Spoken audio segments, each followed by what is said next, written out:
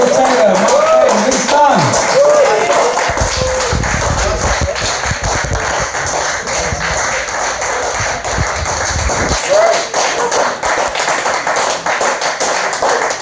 you very much.